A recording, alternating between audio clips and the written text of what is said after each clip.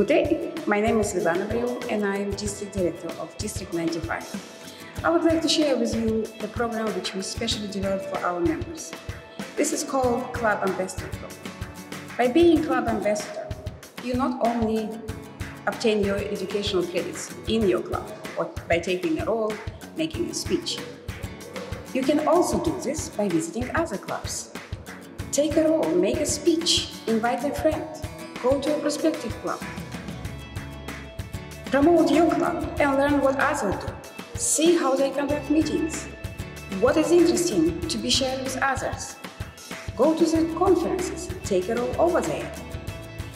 This should help you to bring the message back. But we want you not only to bring the message to your club, we want you to share this message with the whole district.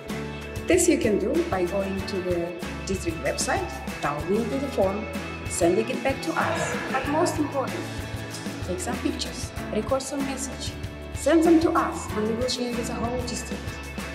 Our example was followed by a few other districts which also introduced the Club Ambassador program. So let's promote the great message of Toastmasters to District 95 and around the world. Thank you.